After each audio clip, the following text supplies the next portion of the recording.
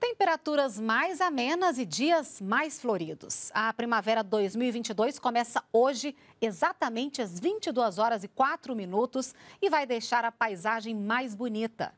Este ano, a meteorologia indica chuvas de outubro a dezembro acima da média em grande parte das regiões norte, nordeste, centro-oeste e sudeste, e abaixo da média na região sul, que poderá ter rajadas de vento e chuvas de granizo em decorrência dos impactos do fenômeno Laninha.